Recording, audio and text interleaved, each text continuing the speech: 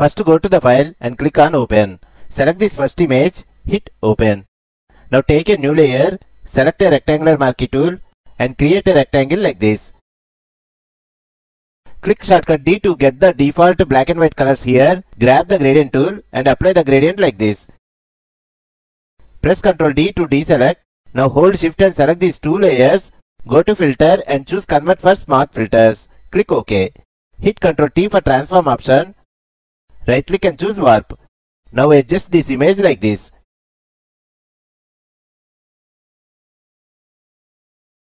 Click enter.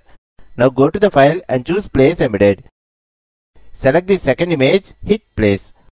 Hold the alt button and increase the image size like this. Click enter. Move this layer to bottom.